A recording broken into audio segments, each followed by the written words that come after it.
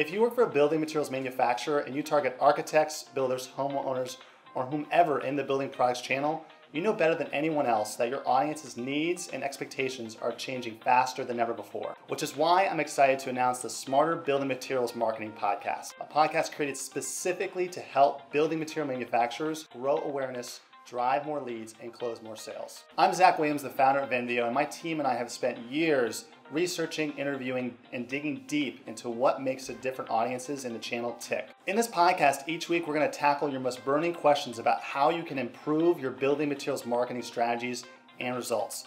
And this is really going to come in three different forms. The first being is we're going to share proven strategies from what we've seen work. The second being is we're going to talk with other industry experts on what's working and what's changing. And the third is we're actually going to interview other manufacturers to give you firsthand insights into how you can stay ahead of your competition.